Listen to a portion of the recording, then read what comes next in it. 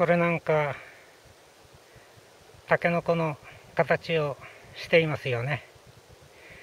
これはこの前家内の実家の剪定に来た人の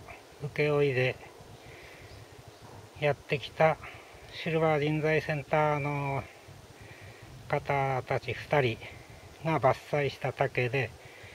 そこから根茎が伸びてここで来年出てくる予定であったタケノコ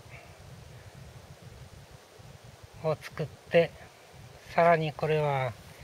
ずっと伸びてくるところだったのを私が途中でカットしたので放っておいたらですねこの国名エクアドルバナナの方に伸びてきた可能性がありますね。こ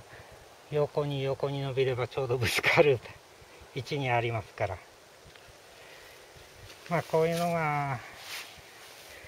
12月1月にはたくさんたくさん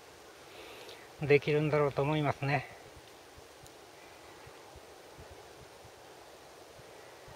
まあこれもこの切り株も掘り上げるつもりなんですが、まあ、タケノコ取りはそちらの竹林バナナ畑奥にたくさん竹がありますからそちらで取るようにしてこちらはもうタケノコは諦めるように耕してるんですけどもね。まだかわいらしい姿をしていますよね。